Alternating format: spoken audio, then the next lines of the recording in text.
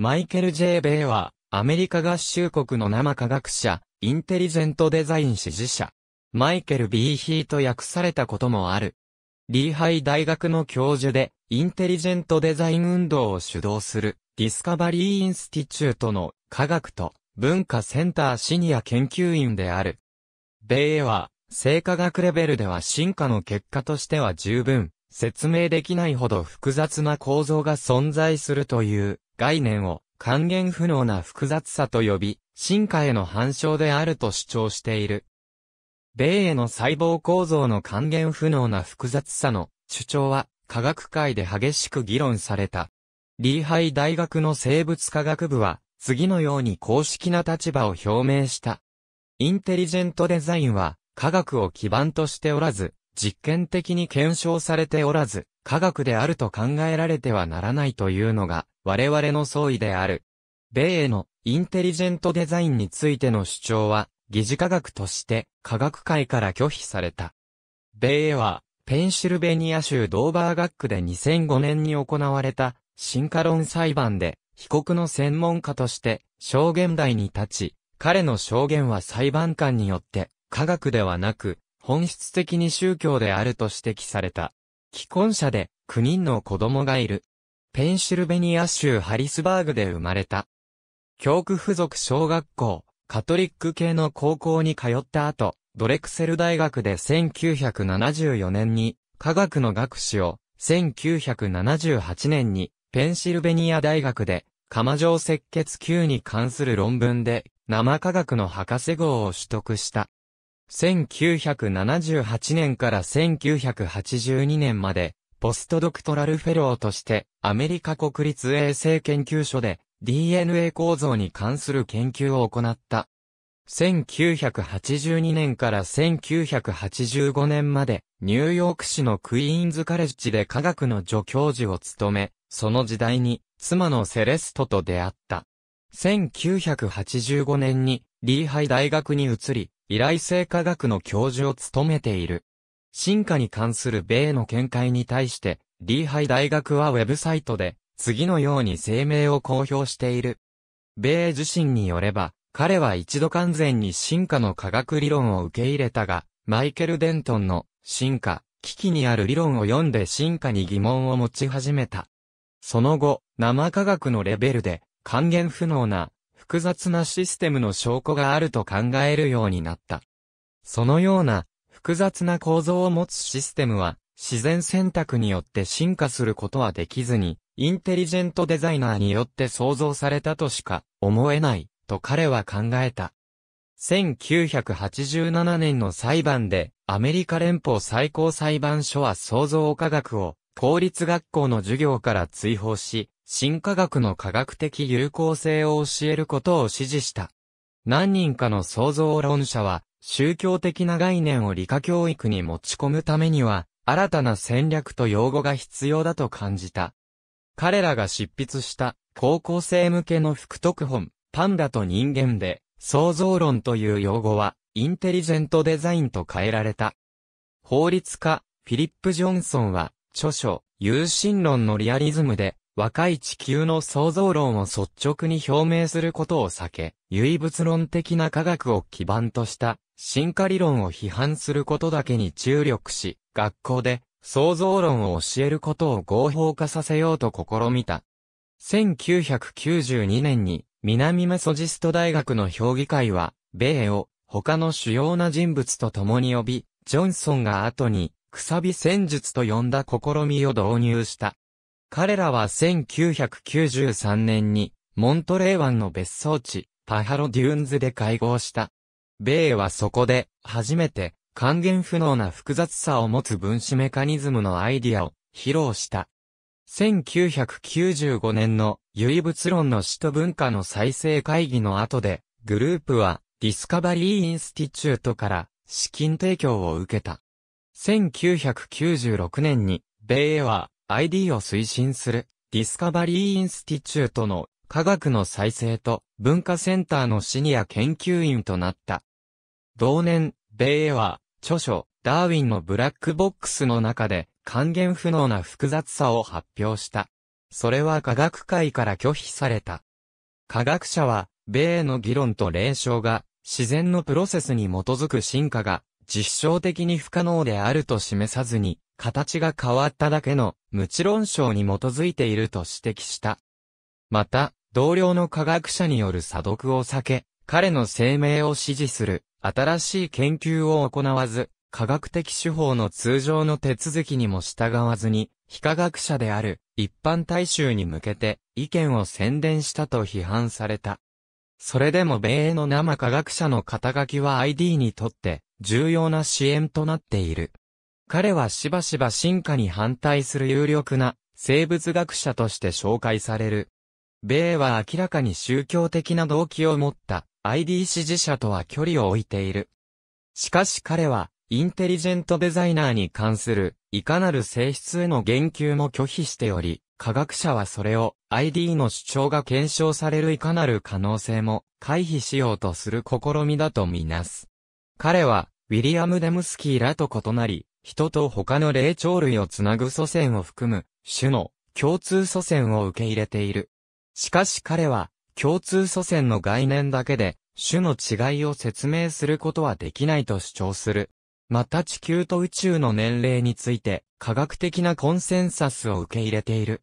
1996年に、リチャード・ドーキンスはインタビューで次のように述べた。1997年に3月にボストンレビュー誌でラッセル・ドゥーリトル教授は、米英が主張するいくつかのシステムの還元不能な複雑さ、特に血液凝固のデリケートなバランスの主張に対する反論を書いた。後の2003年に、ドゥーリトルの研究室は、査読付き学術誌、米国科学アカデミー企業に論文を発表し、フグが少なくとも3つの血液凝固因子を書いているのにもかかわらず機能するシステムを維持していることを証明し、血液凝固が還元不能な複雑さを持つという米の著書の鍵となる主張に反論した。ロバート・ペノックによる書評に対して米は創造科学に関係していたり、読者が聖書直訳主義や若い地球の創造論の言い換えだと考えている種類のインテリジェントデザインのグループに反対した。